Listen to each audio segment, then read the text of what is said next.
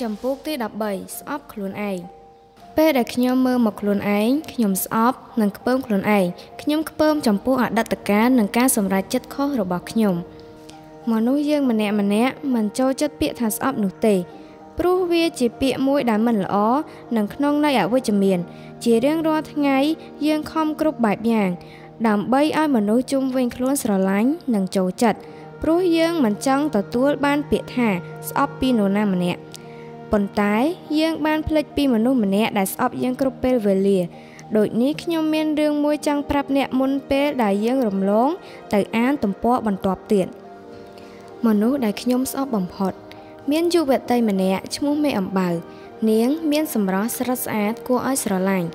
និងមានមនុស្សជាច្រើន ស្រឡាញ់នាងគ្រប់គ្រប់គ្នា នៅពេលនេះនាងមានអាយុ18ឆ្នាំហើយ នាងត្រៀមនឹងចូល សាកលវិទ្យាល័យឆ្នាំទី1នៅឯទីក្រុង Over Cambodia នឹងធ្វើការវិភាគទានសិភៅចំនួន3000ក្បាលអ្នកអាចធ្វើការស្នើសុំតាមរយៈតំណខាងលើថ្ងៃមួយ ពេលដែលញ៉ាំបាយល្ងាចរួច នាងបានឡើងទៅបន្ទប់របស់នាងដូចសពមួយដងប៉ុន្តែថ្ងៃនោះនាងបានឃើញមនុស្សម្នាក់ទៀតនៅក្នុងបន្ទប់របស់នាងនារីចម្លែកនោះមានមុខដូចនាង មានសក់ដូចនាង និងស្លៀកពាក់ដូចនាងទៀត នាងមេអំបៅគ្រាន់តែឃើញនាងចម្លែកភ្លាម នាងមេអំបៅគ្រាន់តែឃើញនាងចម្លែកភ្លាម នាងខឹងខ្លាំងណាស់មិនដឹងជាកំហឹងឆេះមកពីណាទេ នាងបាននិយាយពាក្យមិនល្អជាច្រើនថានាងកំរក់នាងល្ងងនាងភ្លីភ្លើនាងឈួត នាងមុខអាក្រក់ នាងឯងគួរឲ្យខ្ពើម នាងឯងឆាប់ជឿគេម្លេះនាងឯងស្រឡាញ់គេដល់ណាទៀតចូលចិត្តសម្រេចចិត្តឈួតឈួត ធ្វើអ្វីក៏មិនកើតធ្វើអ្វីក៏ខុសជួបអ្នកណាក៏បោកគ្មាននរណាស្រឡាញ់នាងឯងស្មោះទេគ្មានអ្នកណាយកចិត្តទុកដាក់នាងគួរតែគ្មានមុខលើផែនដីនេះទៀតទេ Over Cambodia នឹងធ្វើការវិភាគទានសិភៅចំនួន3000ក្បាលអ្នកអាចធ្វើការស្នើសុំតាមរយៈតំណខាងលើនាងចេញទៅចេញឲ្យឆ្ងាយពីខ្ញុំទៅ ហើយយកអតីតកាលដ៏អាក្រក់នេះទៅជាមួយផង បន្ទាប់ពីនិយាយឃ្លាទាំងអស់នេះរួចមក នាងមេអំបៅបានឈរត្រង់ដូចជាមនុស្សគ្មានវិញ្ញាណអញ្ចឹងហើយលើថ្ពាល់នាងមានដំណក់ទឹកភ្នែកបានហូរមកតក់តក់នាងមានពាក្យពេចន៍ជាច្រើនចង់ស្ដីឲ្យនាងចម្លែកនោះណាស់តែនាងគ្មានកម្លាំងនឹងនិយាយវាបន្តទៀតបន្ទាប់មក នាងមេអំបៅបានដើរចេញពីកន្លែងនោះមកកាន់ក្រែដីរបស់នាង ហើយនាងចម្លែកបានរសាត់បាត់ទៅ នាងចម្លែកបានរសាត់បាត់ចេញពីកញ្ចក់ដែលនាងមេអំបៅតែងតែឆ្លោះរៀងរាល់ថ្ងៃរាល់ពេលដែលមេអំបៅឆ្លោះកញ្ចក់នាងតែងតែឃើញនាងចម្លែកគ្រប់ពេលវេលាយុវជនជាច្រើនអ្នកដែលកំពុងរស់នៅជាមួយអតីតកាលបទពិសោធន៍ឈឺចាប់ ការបាត់បង់ការបោកប្រាស់ស្នេហាខកចិត្តនិងរបួសអតីតកាលពេលខ្លះហត់នឿយនឹងបន្តទៅមុខទៀតព្រោះមានអតីតកាលអាក្រក់ច្រើនពេក ការបរាជ័យច្រើនពេកការបោកប្រាស់ឬការបដិសេធច្រើនពេកដែលធ្វើឲ្យយើងខ្លាចក្នុងការចាប់ផ្ដើមម្ដងទៀតនិងស្រឡាញ់ខ្លួនឯងសាជាថ្មី ពេលខ្លះយើងអាចបន្ទោសអ្នកផ្សេងចំពោះរឿងរ៉ាវផ្សេងផ្សេងដែលបានកើតឡើងប៉ុន្តែម្នាក់ដែលយើងបន្ទោសខ្លាំងជាងគេគឺជាខ្លួនឯងទៅវិញព្រោះយើងគិតថាកំហុសឬការបរាជ័យគ្រប់យ៉ាងកើតឡើងពីខ្លួនឯង ពេលខ្លះយើងក៏ចូលរួមចំណែកក្នុងការសាងកំហុសទាំងនោះដូចគ្នាប៉ុន្តែមិនមែនមានន័យថាយើងជាដើមហេតុទាំងស្រុងនោះទេ ស្នេហាក៏អាចជាហេតុមួយ ក្នុងចំណោមហេតុផលផ្សេងទៀតដែលធ្វើឲ្យអ្នកខឹងជាមួយខ្លួនឯងដោយសារអ្នកធ្លាប់ឆ្លងកាត់ការបដិសេធគេក្បត់ចិត្តគេបោកប្រាស់និងការបរាជ័យដដែលដដែល។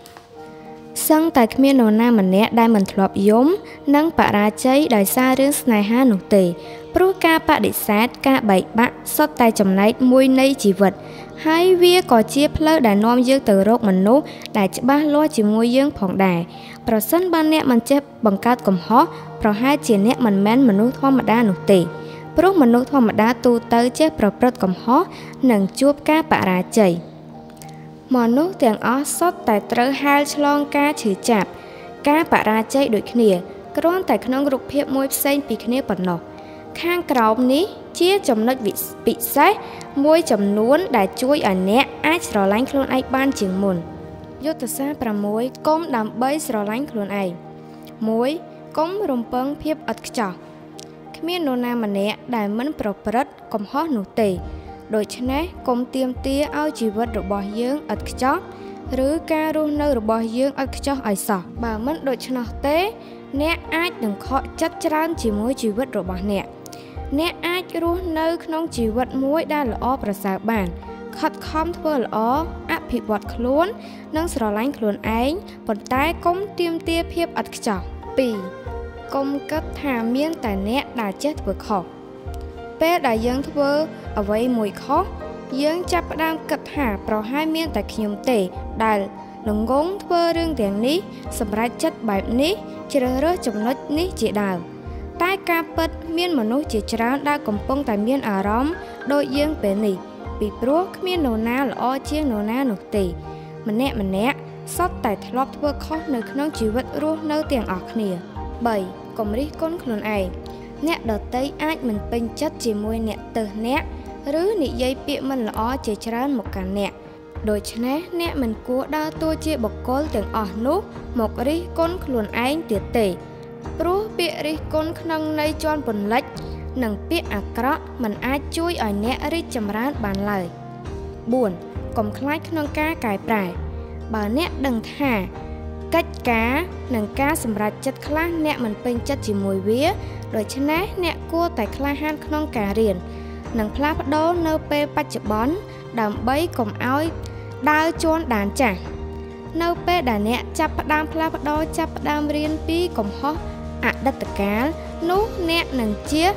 រួចពីកំហុសមួយចំនួនដែលអ្នកធ្លាប់ប្រព្រឹត្ត5កុំខ្លាចទទួលយកខ្លួនឯង អ្នកអាចធ្វើរឿងជាច្រើនដែលមិនល្អចំពោះខ្លួនឯងឬចំពោះអ្នកដទៃអ្នកអាចប្រព្រឹត្តកំហុសដែលប្រហែលគ្មានថ្ងៃអាចប៉ះពៅវិញបាន ឬទទួលការបដិសេធច្រើនដងពីអ្នកដទៃប៉ុន្តែអ្នកគួរតែក្លាហានទទួលយកខ្លួនឯងព្រោះមានតែការទទួលយកខ្លួនឯងទេទើបអ្នកអាចស្គាល់ខ្លួនឯងនិងអាចអត់ទោសឲ្យខ្លួនឯងបាន6 កុំភ្លេចធ្វើល្អដាក់ខ្លួនឯងអ្នកគួរតែរៀនធ្វើល្អដាក់ខ្លួនឯងស្រឡាញ់ខ្លួនឯងលើកទឹកចិត្តនិយាយពាក្យសម្ដីល្អល្អទិញកាដូជូនខ្លួនឯងឬមើលថែខ្លួនឯងនៅពេលដែលអ្នកធ្វើរឿងទាំងនោះដាក់ខ្លួនឯងនោះអ្នកនឹងកាន់តែស្រឡាញ់ខ្លួនឯងពីមួយថ្ងៃទៅមួយថ្ងៃចំណុចទាំងអស់ខាងលើនេះនឹងអាចជួយឲ្យអ្នកស្រឡាញ់ខ្លួនឯងកាន់តែខ្លាំង និងជួយឲ្យអ្នកដើរចេញពីអតីតកាលដ៏ឈឺចាប់បានកុំព្យាយាមស្វែងរកមនុស្សដែលស្រឡាញ់អ្នកប៉ុន្តែចូលធ្វើជាម្នាក់ដែលស្រឡាញ់ខ្លួនឯងពិតប្រាកដវិញ។